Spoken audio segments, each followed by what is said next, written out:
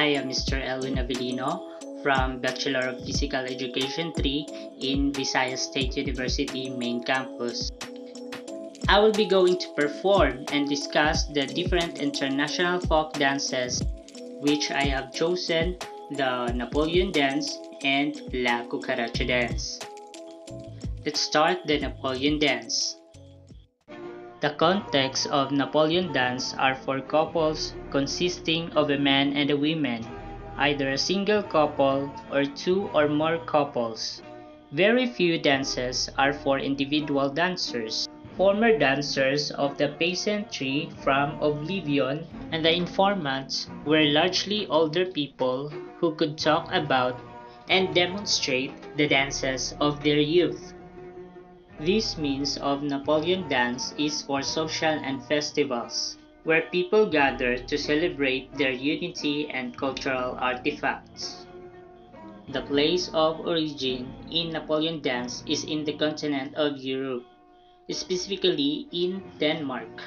Classification of the dance it is mainly a social dance involving groups of couples of dancers, often designed for large gatherings. It's also characterized by being easygoing, gentle, and relatively easy to learn. These are the authentic costumes of the Danish folk dance. The music is composed of two parts, which is A and B. Account for this dance is 1 2 or 1 and 2 and 2 a measure. A formation is double circle, partner facing each other with the boys on the inside, girls on the outside circle. Opposite hands joined and stretch out the side at shoulder level.